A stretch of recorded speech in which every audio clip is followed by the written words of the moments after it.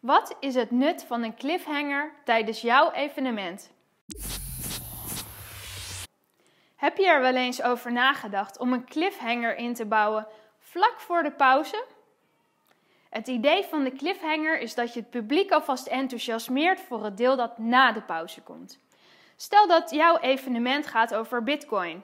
Dan kun je alvast een video laten zien en het publiek de pauze in laten gaan met de vraag: Zou je zelf in Bitcoin willen investeren of toch nog niet?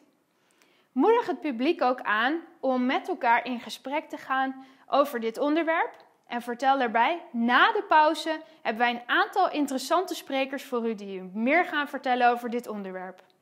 Zo'n cliffhanger heeft twee functies. De eerste is dat het publiek met een gespreksonderwerp de pauze ingaat. Dus het wordt makkelijk voor deelnemers om een onbekende aan te spreken en te vragen: Goh, heb jij al wel eens gedacht over investeren in Bitcoin? Of heb je misschien al wat Bitcoin?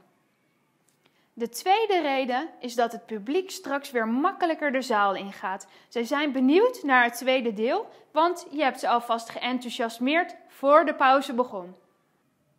Ik kan me voorstellen dat jij hier voor jouw evenement nog niet over nagedacht hebt.